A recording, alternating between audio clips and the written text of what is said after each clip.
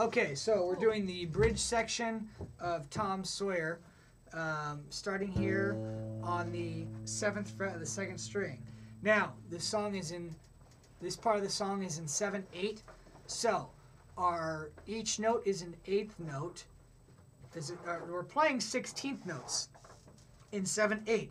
So since we're in seven eight, we're counting our sixteenth notes like eighth notes, which means we're counting one and two and three and four and right, five and six and seven and. That's how we count our sixteenth notes in seven eight because eighth notes are the numbers, so sixteenth notes will be the ones in between.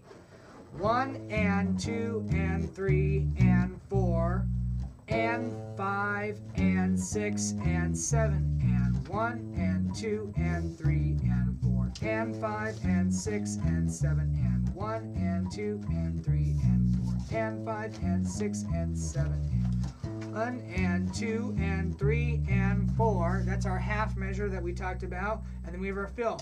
One, two, three. So that's one and two and three and four. One, two, three. One and two and three and four and five and six and seven and one and two and three and four and five and six and seven and and two and three and five and six and seven and one, two, three. Now, there's the next part of the song. We go up and do the same thing, one string up. One and two and three and four and five and six and seven and two times. One and two and three and four and five and six and seven and then we go back. One and two and three and four and five and six and seven and one and two and three and four and then we do fill number two. One, two,